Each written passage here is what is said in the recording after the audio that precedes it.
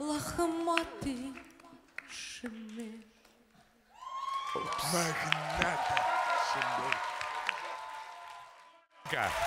Борис, Борис Моисеев. Борис Апин.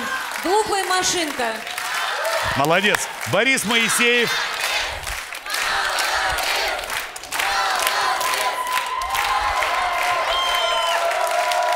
А народу нравится.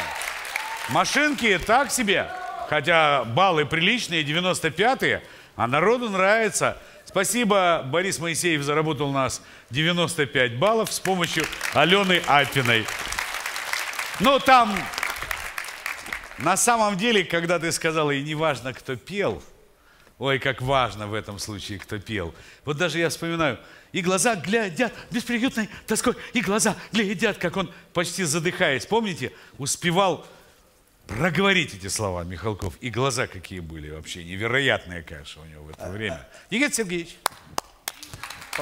А еще важно, потому что, э, так как это было в исполнении Бориса Моисеева, не мохнатый шмель, а лохматый. Да, да, да, да. И, круто. и движение, и в конце движения были бы эти. Лохматый. Поклон бы был такой. Обязательно. Продолжаем.